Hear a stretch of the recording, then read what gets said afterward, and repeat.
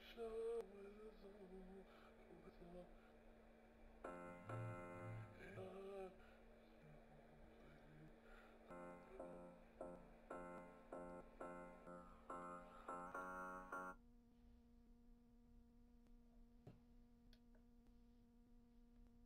And helps learn intimate skills like time management to get there faster.